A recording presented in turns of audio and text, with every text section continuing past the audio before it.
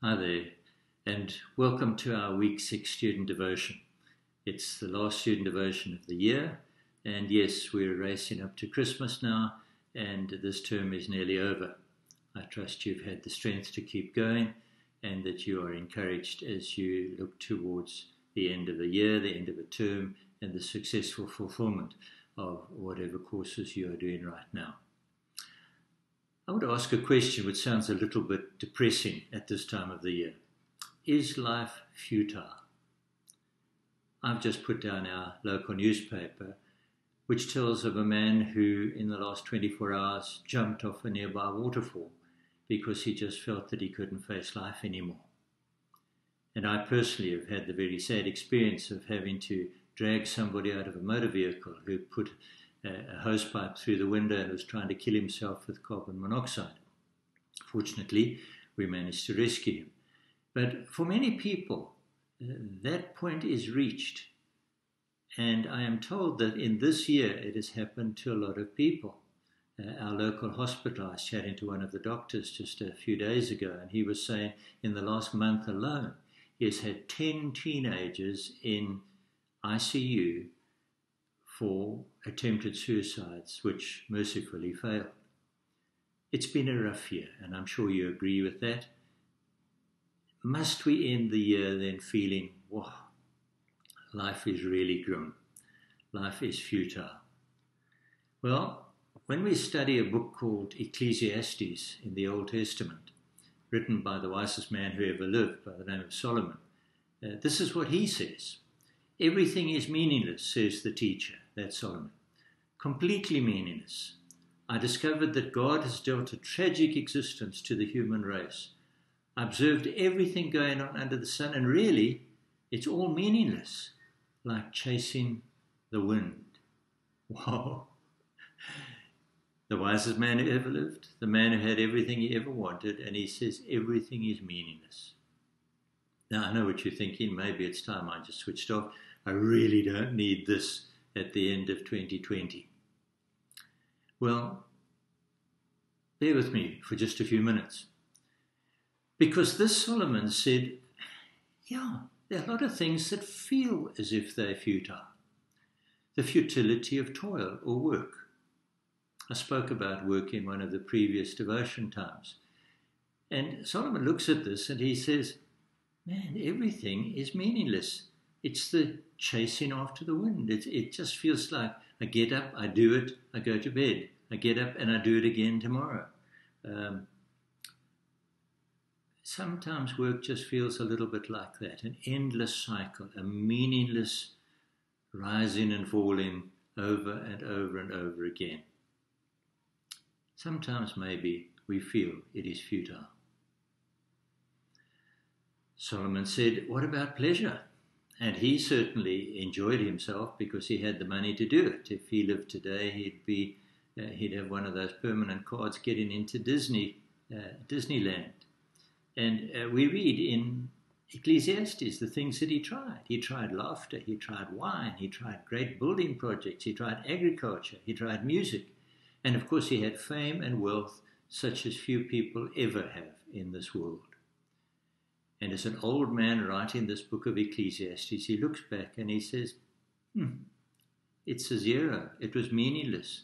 It was a chasing after the wind. Then what about effort? I'm sure you've all heard about uh, Ecclesiastes chapter 3, which says there's a time for this and a time for that, time to weep, a time to laugh, a time to build, a time to tear down. And he looks back on all of this and says, well, what happens if you're laughing when you should weep? When you, you're tearing down when you should build. Maybe even effort is futile. What if I seize the right moment at the wrong time or the wrong moment at the right time? Wouldn't that also just be meaningless?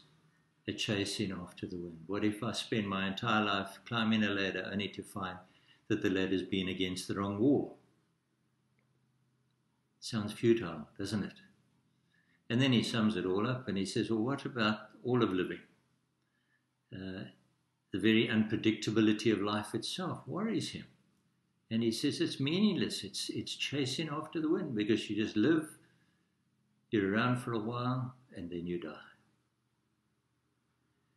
chap by the name of J.S. Whale put it this way If death means that all is over and there is nothing more, it is life which is pervaded with tragic irrationality. Every column adds up to precisely the same result zero. Now, I know you're inclined at this moment to switch off your computers or shut down the screen so you don't have to keep listening to all the stuff about futility. But I, I hope you saw what I was saying there. If death means that all is over, then life is futile. But if there is something beyond death, then maybe it isn't. Stuart Briscoe put a bit of a humorous slant on this. He said, if you don't believe in God, if you don't believe that there's a, a bigger plan somewhere, then you've got to believe that you came into this world by the accident of birth, you will leave this world by the accident of death, you're there for an accident suspended between accidents. Is that all? Is life really that meaningless? No, says Solomon. And please listen to this. He finishes the whole book and he looks back and he says, Here is my final conclusion. A lifetime of having whatever I wanted, a lifetime of seeing so much is futile. But, and it's a huge but, if we fear God and obey His commands, which is everyone's duty, then it's a different story. God will judge us for everything we do, including every secret thing, whether good or bad. Yes, we've got to face God. But if we put God in his rightful place by obeying his commands, then it's a different story. And I want to spend the rest of this devotion just telling you what the different story is. Because if we ask the question, is life futile? then we're not talking about the futility of toil, we're talking about the meaning of toil. And I, I did speak to you about that previously. That if we put God in his rightful place, then even getting up to go to work becomes meaningful. What we do becomes meaningful. We are living our lives for the glory of God. And therefore, he will help us to do what we do well, and we will want to do it well because it's all part of serving God in his kingdom. What about the meaning of pleasure? Many people have the feeling that uh, God doesn't want us to have fun. He doesn't want us to have pleasure. He's some sort of old killjoy who sits up in heaven making sure that everything goes wrong so that we're unable to be happy. That's just nonsense. That's certainly not what the Bible tells us about God. God wants us to be happy. He wants us to be joyful. He wants us to, says Solomon in Ecclesiastes 9, verse 7, eat our food with gladness, drink our wine with a joyful heart, for it is now that God favors what you do. He favors it when we're happy. He favors it when we enjoy times of pleasure, when we just love being at the sea, when we love swimming, when we love being out in the beautiful creation that He's made, when we love to hike through Yosemite or all those beautiful places that you have in California and other parts of the United States of America. It's not futile, it's meaningful. And even our effort is meaningful. You're worried about doing the right thing at the wrong time or the wrong thing at the right time. If God's in his rightful place, he's going to make sure that you do the right thing at the right time. We're not talking about being a self made person we're talking about being a God designed person. And we've spoken about that previously in some of our devotions as well. How much better to let God make us into what He wants us to be, because then life has meaning. Which brings us to the meaning of living fear God and keep His commandments. Then all of life takes on a different meaning. If you don't have that, if you want to take the atheistic route of, of writing God out, then life is a zero. Eat, drink, and be merry, for tomorrow you die. There is nothing beyond here. Life becomes something of a cruel joke. But if we remember that what we're in now is just the entrance foyer to an eternal existence in the presence of God, then a whole lot of things begin to make sense. Fear God Not fear in the sense of being afraid of him. That's not what it means. Respect him, honor him, put him in his rightful place, which is what we try to urge you to do as a student of Los Angeles Pacific University. We who work here love and serve this God, and we do what we do because we want to honor him and we want to build his kingdom. And we want to urge you to do the same because we just find that's the most fulfilling way to live. Then we can say to the question, we can answer the question, is life futile? No, definitely not.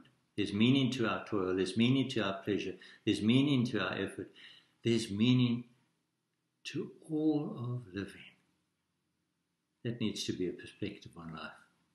Because then a year like 2020, which has been grim, and I'm not suggesting it hasn't been, but if we put it in perspective of knowing that there is a God who has not lost control of this world for one nanosecond, it's a God who knows the end from the beginning.